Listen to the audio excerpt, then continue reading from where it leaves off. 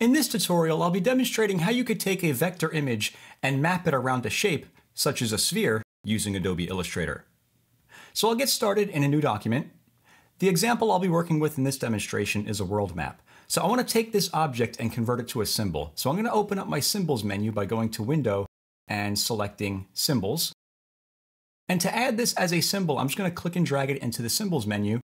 I'll click OK, and now we have that image added as a symbol and we can close out of that menu.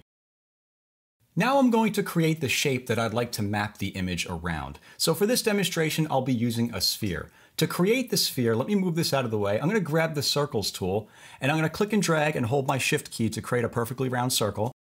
And let me just make this a different color for now.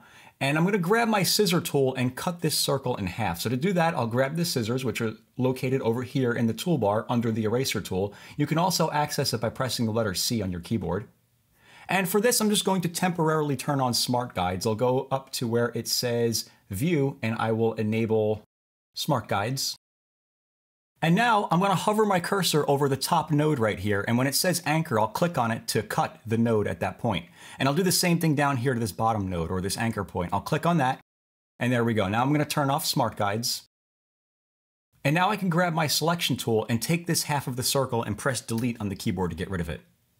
So now I'm going to select this circle, and I'm going to go to Effect, 3D and Materials, and I'm to choose 3D Classic, and I'm going to go with the Classic Revolve. Now from this menu, I want to click on where it says Map Art.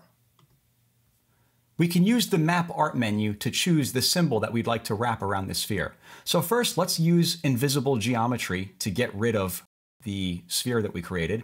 And I'm going to come up here to this drop down, and I'm going to look for where it says New Symbol. And now I can use the menu interface to change the location of the map on the object. And if I want, I can scale it up by holding shift and clicking and dragging one of these nodes. And if you want to distort it, you can, you can do that as well by moving it up or down. And you can place the location wherever you'd like it to be. And once you're happy with the placement, you can click OK. And you can finalize these results by clicking OK again. And now we have taken this map image and mapped it around a sphere.